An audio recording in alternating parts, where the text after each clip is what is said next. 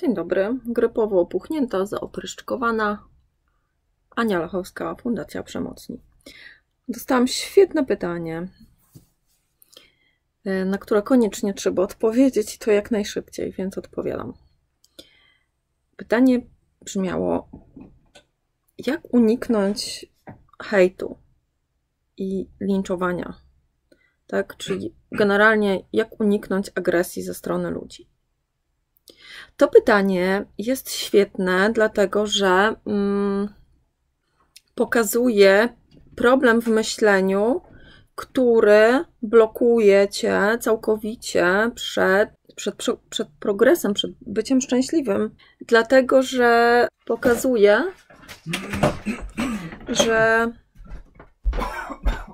w ogóle źle rozumiesz szczęście, w ogóle źle rozumiesz yy, spokój źle rozumiesz granice. Czyli próbujesz mieć kontrolę nad swoim życiem nie tam, gdzie ono w ogóle jest. To tak podając metaforę, to tak jakbyś próbował hodować swój ogródek na asfalcie za płotem. Nie unikniesz reakcji ludzi. Znaczy, możesz się schować w domu i zrezygnować z życia, co najwyżej. E, to jest jedyny sposób na uniknięcie hejtu, sprawienie, żeby nikt cię nie widział. Pytanie, czy w ogóle e, to ma sens i czy o to ci chodzi? Musisz zrozumieć w rozwoju osobistym, że nie masz wpływu e, na to, co robią inni. Po prostu nie masz. Nie masz wpływu na to, co myślą, co mówią, jak się zachowują masz w bardzo ograniczonym stopniu, dopiero swoją reakcją na różne rzeczy, niewielki wpływ mm, na to, jak dalsza reakcja będzie wyglądała. Czyli na przykład możesz dalej prowokować lub nie prowokować, możesz ją uciąć. Jadzia! Zuzia umarła? Wąchasz trupa? Wytarzać się chce. Wytarzać się chcesz? Ludzie są jacy są. Nie masz wpływu na to, jak się ludzie zachowują. Ja cię daj jej spokój. A nie masz wpływu na to, jak się zachowują. Ty masz przyjąć do wiadomości to, jaki jest świat, i w ogóle bez tego, yy, że, że przyjmiesz do wiadomości jakiś świat i zaakceptujesz to, to ty w ogóle niczego nie osiągniesz żadnego spokoju, żadnego szczęścia, żadnej satysfakcji, w ogóle niczego. E, bo postawa, że ty masz wpływ, to jest postawa roszczeniowego, rozpieszczonego dziecka, które jest sfrustrowane tym, że nie udaje mu się rządzić. Świat jest jaki jest. Ludzie są jacy są. Wpływ na to, co masz, to jest za mądrością Kandyda. Znowu, ja każdemu polecam przeczytanie i zrozumienie Kandyda to jest Twój ogródek.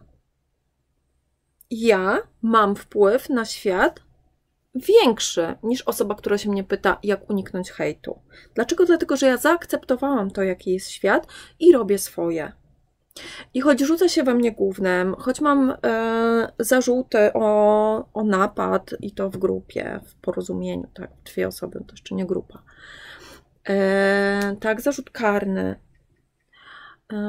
mimo że mm, przebito mi opony, że Robertowi zęby, że, czytam często w komentarzach, że jestem wariatką, że Robert ma e, schizofrenię, bo ja tak chcę, bo chcę mieć chorego chłopaka, bo jestem taka pieprzona. E, mimo, że jego matka powiedziała mu, że jeśli do mnie wróci, to ona mu już nigdy nie pomoże, mimo że moja rodzina nie chce mieć ze mną do czynienia, bo założyłam fundację, to ja robię swoje. Bo to jest problem tych ludzi, co oni sobie w tych zakażonych mózgownicach produkują. Świetnego określenia dzisiaj Robert użył. Zawód wyuczony projektant, bo robi projekcje na ludzi. No dopóki ja bym się przejmowała projekcjami e, ludzi na swój temat, dopóty niczego bym nie osiągnęła. A ja powiedziałam czemuś takiemu jasne i wyraźne fuck you. Możesz sobie myśleć o mnie, co chcesz. Możesz sobie myśleć o tej fundacji, o moim związku, y, o moim zdrowiu psychicznym, co chcesz. To nie jest moja sprawa, to jest Twoja sprawa. Chcesz, żygaj sobie na mnie. Pytanie, ja już ja jestem przekonana, że już nagrywałam ten film. Że na samym początku działania fundacji ja już nagrywałam ten film i używałam bardzo podobnych słów. Miałbko, możesz mnie nie gryźć nogę? Ktoś żyga w twoim kierunku. Nie masz wpływu na to, czy ktoś żyga, czy nie. No nie masz, no. To jest sprawa jego ciała, coś poza twoją kontrolą. Pogódź się z tym, zaakceptuj to. Ale ty masz wpływ na to, czy ty wejdziesz w pole rażenia jego żyga, czy się odsuniesz. I tyle. Zeżygał ci się pod nogi. To jest twoja decyzja, czy ty się w tym wytarzasz, czy ty to zjesz. Czy ty, ty tam włożysz swoje najcenniejsze jakieś rzeczy, swój, nie wiem, telefon na przykład? Czy ty mu powiesz, sprzątnij to? Bo jak nie sprzątniesz, to ja to wezmę na szufelkę, nie brudząc sobie rąk, i to się znajdzie na twojej wycieraczce albo na tobie. Nie będziesz mi żygał u mnie. A jeśli będziesz to robił, licz się z konsekwencjami. Musisz patrzeć przytomnie na to, jaki jest świat i na w ogóle to, na co ty masz wpływ, a na co nie.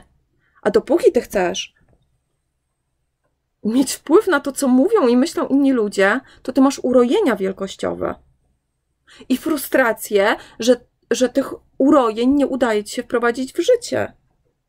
To to jest postawa dziecka. I to nie byle jakiego dziecka, tylko Erika Cartmana z South Parku. Nauka języka z Erikiem Kartmanem. Wyrażenie na dzisiaj. Jebcie się. Idę do domu. Dziękuję. Czy chcesz dodać coś, kochanie? Nie. Nie.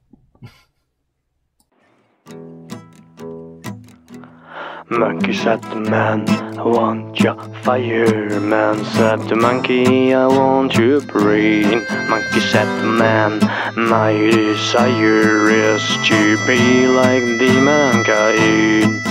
And this was all the monkey said when his world come tumbling down. Monkey said the man, I want your fireman said the monkey, I want your brain. Monkey said to man, my desire is to be like the mankind. And this was all the monkeys spoke when his world came tumbling down. Here comes the monkey, and monkey speaks his mind. Oh, here comes the monkey,